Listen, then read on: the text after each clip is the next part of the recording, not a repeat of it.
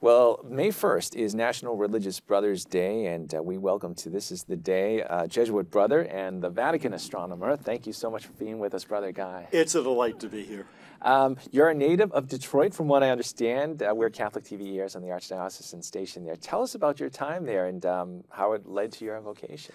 Uh, in a lot of ways. Um, I grew up at the time when Detroit was really booming in the 50s and 60s. And, you know, I started kindergarten when Sputnik went up. And I finished high school at the University of Detroit High School the year that people landed on the moon. Um, my dad worked for Chrysler, and of course that was one of the things in Detroit was which car company does your dad work for? Uh, but I went to a fabulous grade school, Our Lady Queen of Martyrs School, and it was the Sisters of Charity who taught me math and science. It was, of course, uh, you know, the priests of the University of Detroit who also taught chemistry, and I was always raised with science and religion being taught to me by the same people, it never occurred to me that some people might find a conflict. And I was also raised that there was a sense of joy in both. It was fun to be a Catholic, it was fun to be a scientist. And did, did this sort of love of science, did it grow in your formation uh, towards brotherhood, or did, was that something that came later? Or? Oh, the, the formation to be a brother was, was a very odd story. I, um, I was a freshman at a different college than MIT. I'll leave it at that. And in those days, the local liquor store would deliver to the freshman dorms, even though it wasn't legal. And I was fed up with all these, you know, freshman guys who were drinking too much and then ruining their lives, and then they come and pour out their problems on me. And you know, to me, why would you drink that stuff? You could spend that money in chocolate, much more fun. but as they're pouring out their problems, first of all, I was bored. And secondly, I would think to myself, you know, life is tough when you're stupid. you know, why would you do this?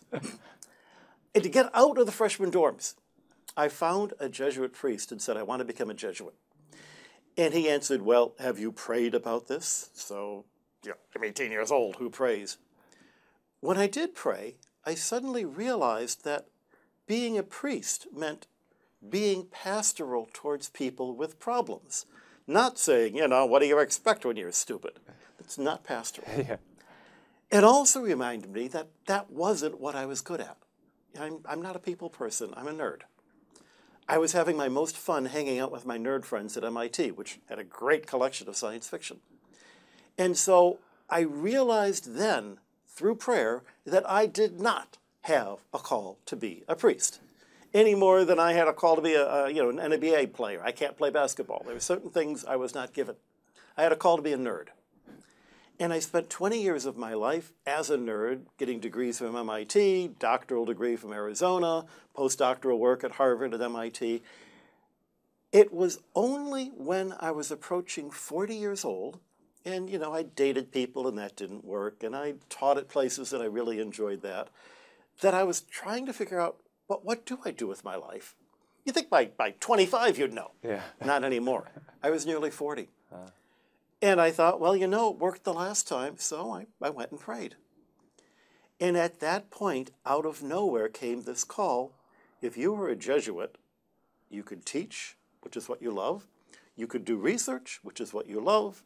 You could be with a community of religious people, which is what you love.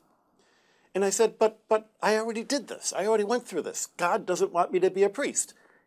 Priests aren't the only way that you can serve God or that you can be a part of a religious order.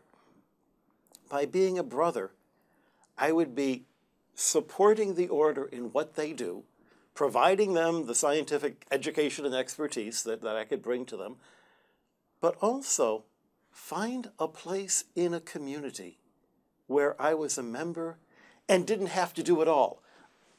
Okay, I'm not, you know, a person you would come to with your problems, but I know people who are. Yeah. Okay, I'm not someone who is going to give you an inspiring homily, but I know people who are. And in the meantime, I can do the nerd work. I can do the science. I can provide what I can do. This is why we have a church, because we all have different gifts. Yeah. And this gift of being a brother happened to fit exactly the gifts that God gave me.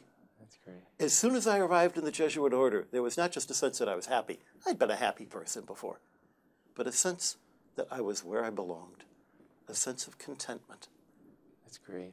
Uh, I know we don't have too much time left, and I, this might be I a talk too much. I know this might be a loaded question, but is there? Uh, I know that you you split time between Arizona and and um, Castel Gandolfo, but uh, is there a typical day for you as as a Vatican astronomer?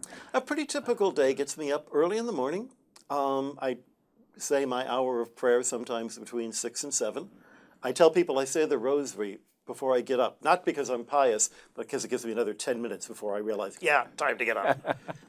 but, but it's a great way to start the day. Uh, I'll work in my office until 10. Everything stops at 10 for coffee. You know, this is Italy. We have community prayer together before our big meal of the day in Rome, which is about 1.30.